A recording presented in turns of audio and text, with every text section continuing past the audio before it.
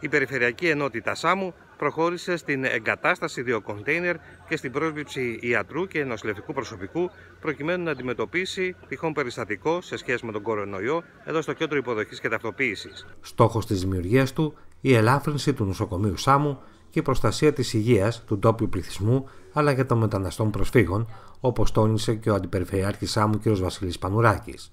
Πρόκειται για μια αξιόλογη πρωτοβουλία της Περιφέρειας Βορείου Αιγαίου.